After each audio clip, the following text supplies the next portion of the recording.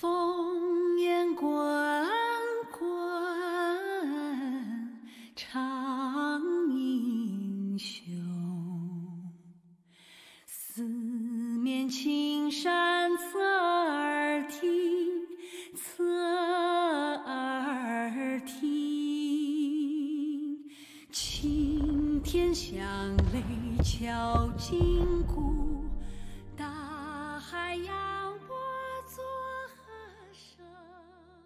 那一年，俺们都才十七八岁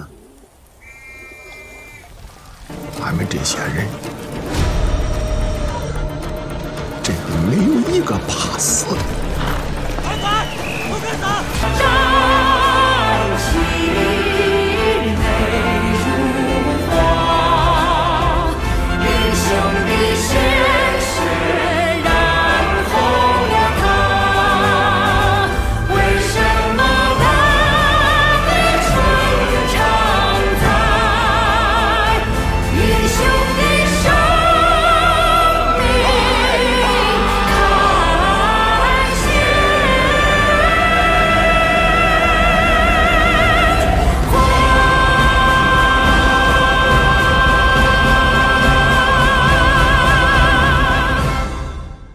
金刚川故事所讲的是以往商业电影中很少触及的抗美援朝题材。预告片的第一个镜头，一片看起来风平浪静的低矮丛林，但在远处硝烟四起。随着一声哨响，丛林中旋即身影跃起，人头穿动，而后黑色背影转场，镜头拉向了几个黑夜中的军人，他们正望向一座灯光点点的大桥。一九五零年六月二十五号，朝鲜战争爆发。初期，北朝鲜军队势如破竹，节节胜利，一直打到了釜山，眼看朝鲜就要统一。这时候，美军为主力的联合国军于九月十五号登陆仁川后南北夹击，很快就收复了失地，并直逼中朝边境鸭绿江。十月二十五号，中国人民志愿军入朝作战，并打响了第一枪，近三年的抗美援朝由此开启。一九五三年，抗美援朝进入了最终阶段，志愿军在京城发动了最后一场大型战役。为了在指定时间内到达前线，向京城前线投放更多的军力，志愿军官兵们在物资匮乏、装备悬殊的情况下，不断抵御敌机的狂轰乱炸，以血肉之躯一次次修补战火中的木桥。一段鲜为人知的历史在暗流涌动的金刚川上徐徐展开。金刚川起源于金刚山，也是京城前线的一条大河，河面最宽处可达六十米，必须借助桥梁运输来保证京城战役的增援战士和战备物资。建桥、护桥和过桥是这场战役的关键，直接关系到抗美援朝最后一战京城战役的成败。桥在人在，桥亡则前线堪忧。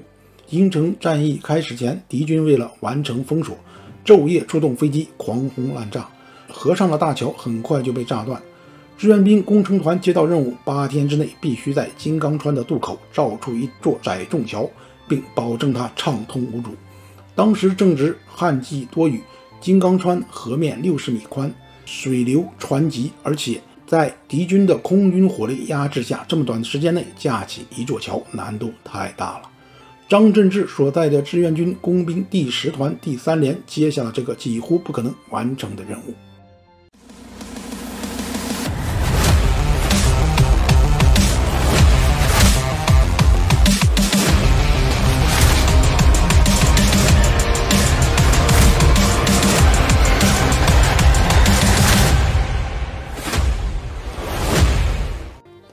经过七天七夜的奋战，提前一天架起了一座载重桥。然而第二天，美国空军的二十四架黑寡妇呼啸而来，火力直指这座生命之桥。两个小时内，向这里投下了七百多枚炸弹，七孔桥炸的只剩下两孔。这时，京城前线最重要的阵地之八八三点七高地打得非常焦灼，部队的弹药很快就要打光了，再不送上去就会影响整个战役的走向。这时，志愿军司令部的命令下达，另一部必须在一个半小时内修好桥梁，先送过去一部分弹药，完不成任务，军法处置。张振志二话没说，第一个跳下了河，指挥全连官兵开始了第二次架桥。尽管周围爆炸不断，全连官兵不计生死，拼命架桥，终于按时完成了任务。敌人当然不会放任我军架桥，就这样炸了修，修了炸。张振志和他的战友们先后七次在金刚川上修复了这座三十七米的长桥。在金刚川拍摄之前，和大家一块儿军训、练队列、练军姿，还有练呃怎么使用枪。很多孩子就趴在树林里面，就趴一天，真的趴一天。我真的经常恍惚，真正战争的时候，这就是爸爸妈妈的孩子吗？因为他们的那个信念其实很简单，为什么要躲在这个山洞里，要吃雪？就是为了祖国的人民不躲在山洞里，就是为了祖国的人民不吃血。看一下，这只手不要这样，不要这么高，是这样，这块手别翘起来，嗯，这样，这样，这样，这都这样，顶住肩窝，两只手往后拉，因为你越这样，越容易被打到，所以我们实际上夹紧它，既控制了枪的东西，左右都可以。另外一个，你要减少自己受力量。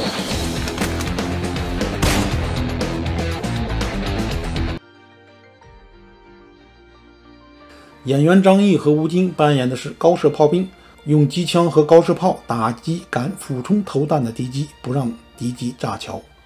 邓超和李九霄的角色是增援前线的陆军，他们帮着清理战场。魏晨扮演的严瑞则是负责架桥的主力工兵，冒着敌机的轰炸完成架桥任务，保证大部队的通行。严瑞这个角色原型就是抗美援朝著名工兵英雄张振志。主演张译在拍摄炮手张飞还击敌机时，看到敌人这么嚣张，恨得紧咬牙关，通宵拍摄，一直奋力嘶吼，在拍摄现场一度缺氧昏了过去。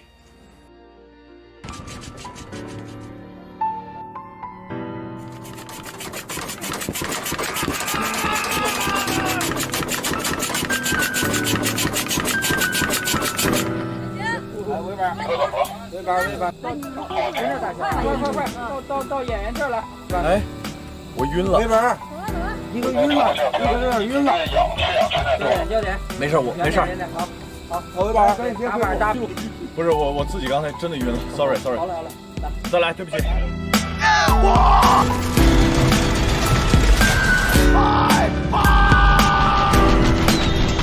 我们有两个班，一班、二班。呃，我带的一班边上这些小兄弟跟我一起，七个人去协作我们一门炮，就大家作为一个集体训练了那么久，所有人都融入在自己的角色里，那个眼睛啊，那个位置，那个仪器非常的熟练，心里面是生死搏命的战友，也真的想着，如果真的有这么一架敌机来了的话，我们可能真的能打起来。金刚川只用了三个月的时间就拍摄完成。电影聚集了管虎、郭帆、陆阳三位大导演，从三重视角切入，还集结了张译、吴京、邓超等多名当红明星来诠释这个群像故事。同以往的战争片不同，金刚川将视角聚焦在大型战役背后的非正面战场，并将关注点放在那些洒下热血的普通战士身上。以微观场景折射宏大的战争场面，以管中窥豹的画面来表现战争的无情。身处历史的洪流之中，每一个普通的战士就像身边的人们，贡献或许微不足道，但正是每个螺丝钉的坚守，才支撑起这个国家。所谓我们是国家的主人。一场又一场，这一次我不管你们用什么方法，绝不能出现差错。战场杀敌，职责所在。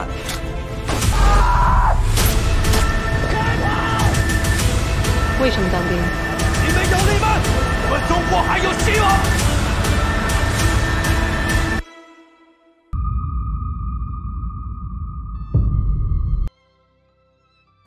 中国抗美援朝志愿军在一九五零年十月二十五日正式加入了朝鲜战场，在这场唇亡齿寒的战争中扮演了重要的角色。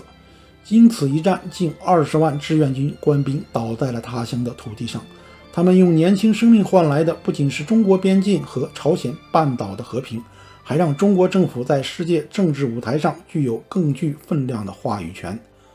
金刚川定档于二零二零年十月二十五日，正好是抗美援朝七十周年纪念日的当天，以史鉴今。当今中美关系斗转直下，在复杂的国际关系背景之下，抗美援朝的故事也有了更多的影射。而恰逢其时的金刚川则有望对接形势，成为宣传和情绪的出口，可以凝聚国人精神的力量。电影也提醒了大家，真实的战争是非常残酷的毁灭性打击，是对一代人生命和命运的直接摧残。以史为鉴，珍惜和平，远离战争。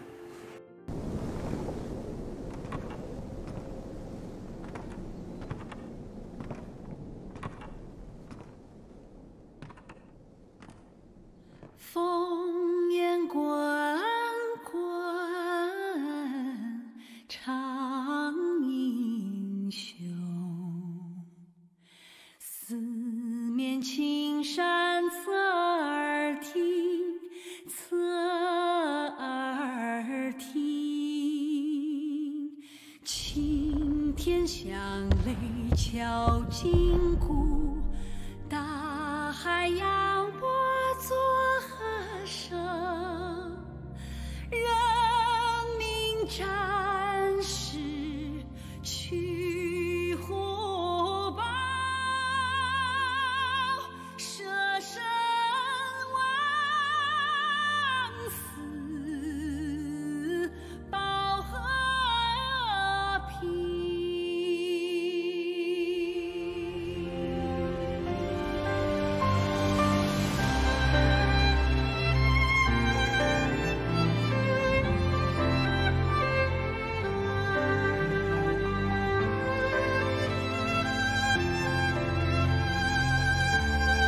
要替他们那块奖章回去。每一个牺牲其实都有价值，它是不被常人看得见的牺牲。我们是为了长眠的英雄而拍摄这部电影。我们这个国家和民族，无论是面对任何的困难，我们都会不计代价的一往无前。保证完成任务。喂，大家能团结在一起，为自己的民族做出自己的贡献。